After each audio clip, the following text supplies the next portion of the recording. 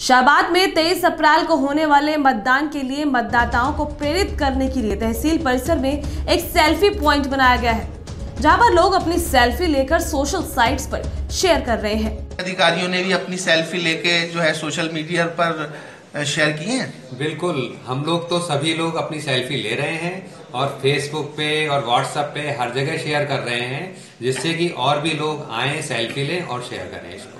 कि बिना मत डाले ना रहे। तो उसके प्रचार प्रसार के लिए कि सभी व्यक्ति तक ये बात पहुँचे कि 23 अप्रैल को जो रामपुर में मत डाले जाएँगे, हर व्यक्ति मत डाले। उसके लिए प्रचार प्रसार के लिए सेल्फी पॉइंट बनाया गया है। इससे प्रत्येक व्यक्ति अपना आए, सेल्फी ले, उसको शेयर करे। तो जितना ज़्यादा शेयर करेंगे, उतनी ही जागरूकता मत के प्रति लोगों की होगी।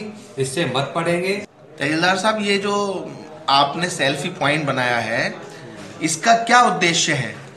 ये रामपुर में जिलाधिकारी महोदय द्वारा जितने भी मतदाता हैं चाहे वो आ, किसी भी उम्र के हों उनको